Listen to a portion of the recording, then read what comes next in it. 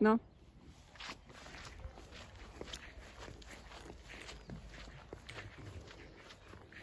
Cześć.